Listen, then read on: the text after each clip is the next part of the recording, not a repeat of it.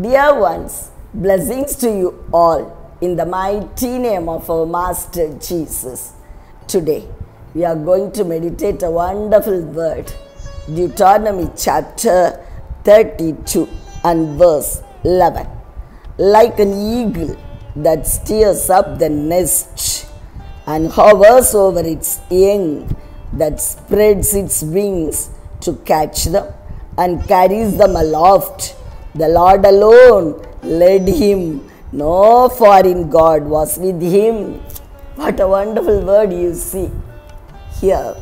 Our Lord, all the time, before blessing us, He wants to give some deep training to His people. That is what Holy Spirit God is expressing in this word. Dear ones, you know the character of an eagle?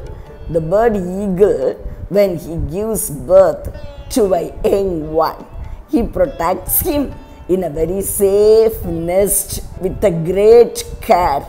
And when the time comes, one fine day, he will stir up the nest of the little one, and the little one will come out of the nest and he starts flying. He flies above and above.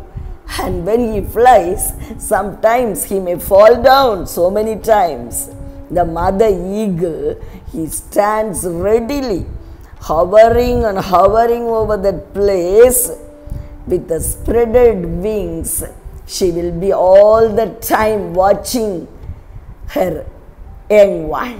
When he falls down, she immediately rushes to that place and catches him. And again, she will allow him to fly up. And that is her character. Till the young one gets a good training, till he could fly independently, the mother eagle trains him in the same way with the spreaded wings she hovers around her young one and all the time cares him. This is the character of the eagle in our Master also, Jesus also having the same character. Before he blesses his children, he wants to train them in a very great way. Sometimes when we fall down, we may feel, What is this? So many times this is happening. But almighty jesus is telling no never never i will let you down. You won't fall down and you won't be get destroyed. You will never be destroyed. Yes because he is a caretaking mother.